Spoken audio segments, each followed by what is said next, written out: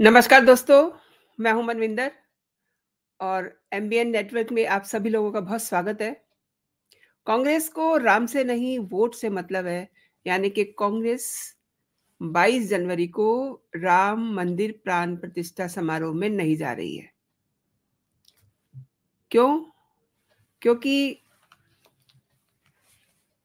उन्होंने ये सीधे-सीधे कह दिया है कि हम इस समारोह में नहीं जा रहे हैं। और ये कांग्रेस की तरफ़ से एक वक्तव्य भी है, जयराम रमेश का, जिसमें उन्होंने अपनी बात कही है कि वो कितना अपने वोटों के लिए फ़िक्रमंद हैं और कितना वो राम को चाहते हैं, उनकी आस्था क्या है, ये सब उन्होंने इसमें बता दिया है। तो फाइनली ये क्लियर हो गया राम मंदिर प्राण प्रतिष्ठा समारोह के निमंत्रण को ठुकरा करके कांग्रेस ने ये साबित कर दिया कि वो सनातन धर्म में विश्वास नहीं रखते हैं, कट्टर विरोधी हैं उल्टे वो, और हिंदुओं को अपमानित करने और मुस्लिम तुष्टिकरण के लिए किसी भी हद तक जा सकते हैं। चाहे इसके लिए उन्हें कोई भी कीमत चुकानी पड़े। अब कांग्रेस ने जो मैंने आपको वक्तव्य दिखाया है उसमें ये साफ़ कर दिया है कि पार्टी आला कमान सोनिया गांधी, राष्ट्रीय अध्यक्ष मल्लिकार्जुन खड़गे, सांसद अधीर रंजन चौधरी समेत कांग्रेस के तमाम बड़े नेता अयोध्या नहीं जा रहे हैं। पिछले महीने यू नो राम मंदिर ट्रस्ट की ओर से कांग्रेस के इन नेताओं को न्योता गया था। नवनिर्मित भव्य राम मंदिर में प्राण प्रतिष्ठा समारोह में शामिल होने के लिए लेकिन अब कांग्रेस का मुस्लिम प्रेम देख लीजिए आप। दरअसल उनके सामने डे वन से ही दुविधा थी कि वो क्या करें, क्या ना करें। उनको बार बार श्री राम का ध्यान नहीं आ रहा था, उन्हें अपने मुस्लिम वोटों का ध्यान आ रहा था।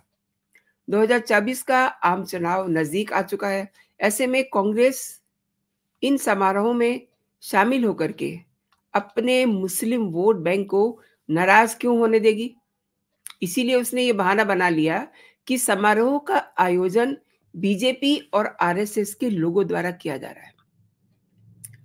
अब उसका अपना मन है माइंडसेट है, जो मर्ज़ी कहे वो, और राजनीतिकरण का आरोप लगा करके कांग्रेस पार्टी ने बाकायदा एक वक्तव्य जारी किया है, जिसमें ये कहा गया है कि बीजेपी और आरएसएस ने वर्षों से अयोध्या में राम मंदिर को एक राजनीतिक प्रयोजन बना दिया है।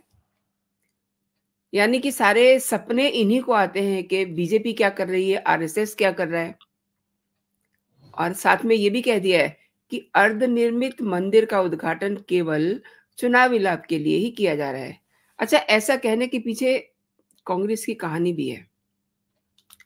जिस समय प्रधानमंत्री नरेंद्र मोदी 5 अगस्त को अयोध्या में राम मंदिर निर्माण के लिए भूमि पूजन के लिए गए थे।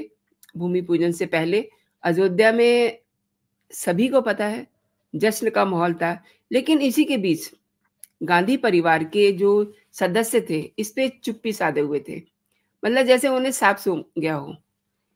और राम मंदिर पर सोनिया गांधी और प्रियंका वाड्रा ने कुछ नहीं कहा। खुद को जनेऊधारी बताने वाले कांग्रेस के जो नेता हैं आगे पीछे तो मंदिरों के चक्कर लगाते हैं। लेकिन जिस समय पूजन होता है उस समय कोई ट्वीट नहीं कोई रिएक्शन नहीं और सवाल उठा दिया कि था कि क्या राम मंदिर के भव्य निर्माण से आ, आगे क्या होने वाला है? बताया जाए। मतलब उस समय तो ये लोग ये कह रहे थे कि तारीख बताइए हमें कि मंदिर का निर्माण कब होगा? अब जब मंदिर का निर्माण हो गया है तो अब पेट में दर्द शुरू हो गया है। आपको मैं ये तस्वीरें दिखाती हूँ जिसमें ये कितना ढोंग करते हैं। आप ये देखिए कि किस तरीके से ये आ, क्या क्या चीज़ें कर रहे हैं लेकिन आप इनके बैठने का अंदाज देखिए। जैसे ये नमाज़ अदा कर रहे हैं। नमाज़ अदा करे कोई दिक्कत नहीं है लेकिन मंदिर में बैठ करके इस तरीके का इन्होंने पोस्टर दिया है। तो इस पे यू नो मंदिर के जो पुजारी थे, उन्होंने भी इनको गुस्से में ये कहा था कि आप कर क्या रहे हैं? आगे पीछे ये अपना जनेऊ धारण करते हैं और तिलक लगाते हैं, लेकिन असलियत देखिए इनकी क्या है?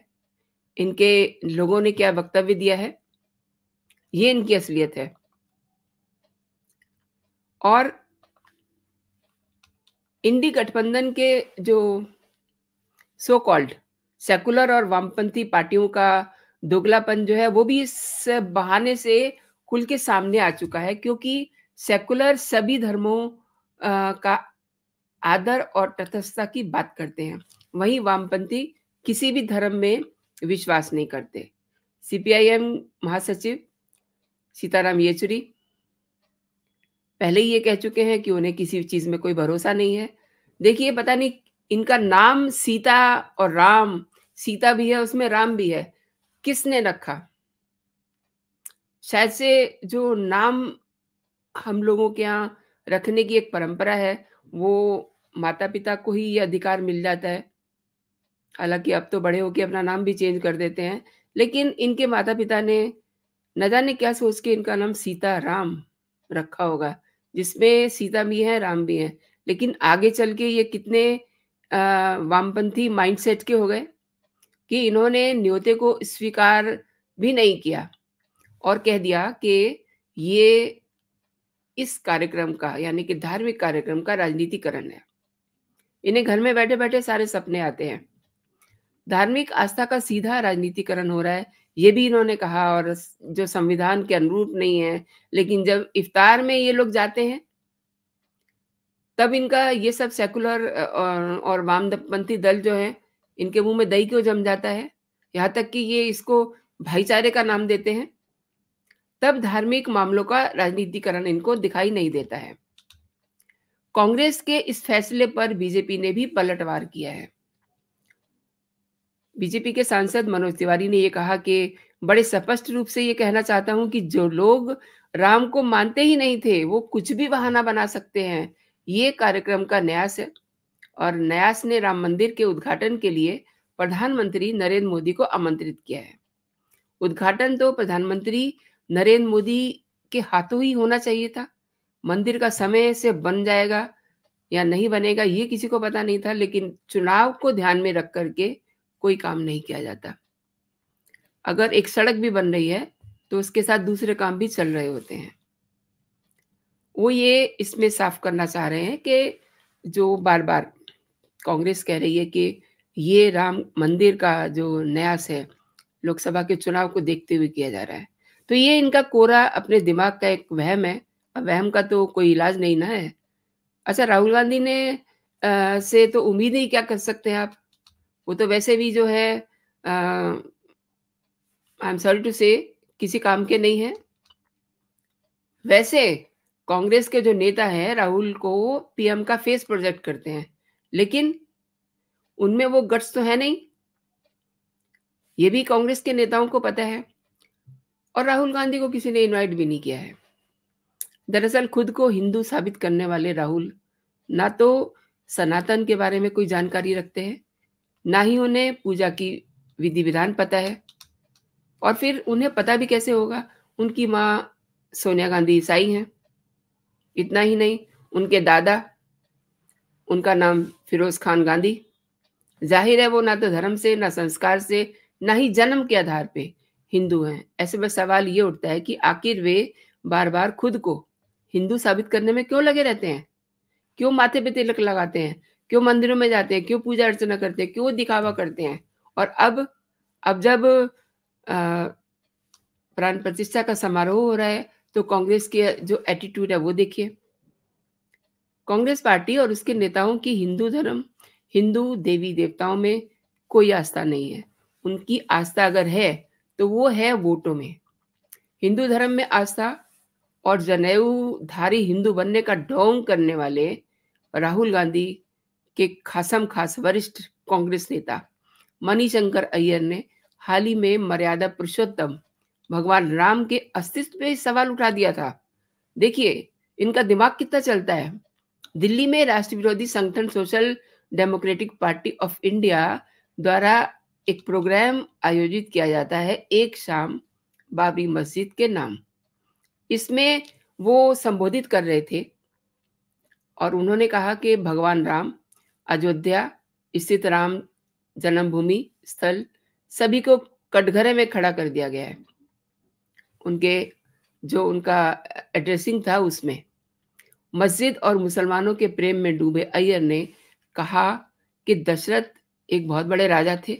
उनके महल में दस हज़ार कमरे थे, लेकिन भगवान राम किस कमरे में पैदा हुए, ये बताना ही बहुत ही मुश्किल है। इसलिए ये दावा करना कि राम वहीं पैदा हुए थे, ये ठीक नहीं है। अब इस तरीके का माइंडसेट लेकर के कांग्रेस जब 2024 के चुनाव में उतरेगी तो आप समझिए कि उन्हें कौन वोट देगा।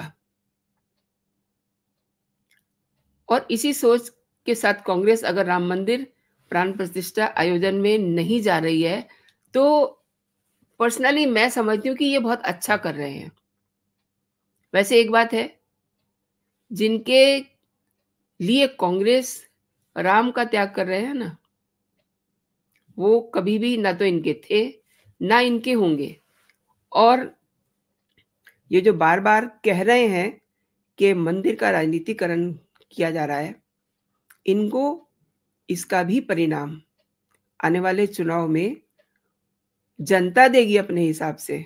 हमें आपको कुछ भी नहीं करना है। मैं तो जस्ट आई आपको बता रही हूँ कि इनका माइंडसेट क्या है, लेकिन जनता इनको अच्छा से सबक सिखाने वाली है आने वाले चुनाव में। ये जो उन्होंने राम मंदिर का निमंत्रण जिस तरीके से, जिस अहंकार से उसका इन्होंने विरोध किया है और ये साफ़ साफ़ कह दिया कि हम नहीं आ रहे हैं। इसका जवाब इन्हें जनता ज़रूर देगी। और दूसरी बात यह है कि इन्हें भगवान राम में भरोसा नहीं है। भगवान राम में इनकी आस्था बिल्कुल नहीं है। इनको चाहिए इनके मुस्लिम वोट। इसीलिए सारी कवादी ये कर रहे हैं मुस्लिमों को खुश करने के लिए। और मंदिर जो है उत्तर प्रदेश में है और उत्तर प्रदेश में, उत्तर प्रदेश की जो अस्सी सीटें हैं, उस पर इनकी नज़र है। हालाँकि इनके हिस्से सीट शेयरिंग में न जाने कितनी सीटें आएँगी, लेकिन सब जो कुल मिला के तस्वीर सामने आ रही है ना, उसमें दिखाई यही दे रहा है कि अगर इनकी राम में आस्था नहीं है तो इनको जवाब जनता देगी। जिनके लिए ये राम को त्याग रहे हैं, जिनके लिए राम के अस्तित्व पे ही सवाल उठा रहे हैं, और जिनके लिए ये राम को अपने मुँह में जो भी आ रहा है, उन, उनके लिए ये बकवासबाजी कर रहे हैं, वो इन्हें कुछ भी नहीं देने के, और जो देना चाहेंगे वो वैसे नहीं देंगे। यानी कि ये राम मंदिर का जो मामला है, ये बीजेपी का बनाया हुआ नहीं है। ये इन्होंने खुद बनाया है। किसने? कांग्रेस ने। बीजेपी तो केवल राम मंदिर के लिए उन्होंने ये कहा था कि हम बनाएँगे, मंदिर वहीं बनाएँगे। मंदिर बना दिया। अब मंदिर का प्राण प्रतिष्ठा समारोह हो रहा है। लेकिन अब इसको गलत वे में नेगेटिव वे में मुद्दा जो बना रहे हैं, वो कांग्रेस बना रही है। तो आने वाले चुनाव में इनको, इसका नतीजा भी सामने आएगा इनके, कि कैसे श्री राम का जो इन्होंने अपने मन में जो भी आया, बोला है, उनके अस्तित्व पे ही सवाल उठा दिया है। तो दोस्तों, आपने पूरा वीडियो मेरा देखा है। धन्यवाद। एक और बात जो मैं हमेशा आपसे कहती हूँ, आपको मेरे कंटेंट कैसे लग रहे हैं, मेरे कमेंट सेक्शन में आप अपनी टिप्पणी ज़रूर ड्रॉप करें। और ये वीडियो आपको कैसा लगा? आप इस वीडियो को अपने दोस्तों में, अपने ग्रुप्स में व्हाट्सएप ग्रुप में टेलीग्राम ग्रुप में आप शेयर कीजिए, ताकि ये जो कांग्रेस कर रही है, ये सब लोगों तक पहुँचे। और अगर अभी तक आपने मेरा चैनल सब्सक्राइब नहीं किया है तो मेरे चैनल को सब्सक्राइब भी कर लीजिए, ताकि जो भी मेरा लेटेस्ट कंटेंट हो, आप तक सबसे पहले पहुँचे। तो आज के लिए दोस्तों इतना ही। आप अपना और अपनों का ख्याल रखिए। खुश रहिए स्वस्थ रहिए। जय हिंद जय भारत।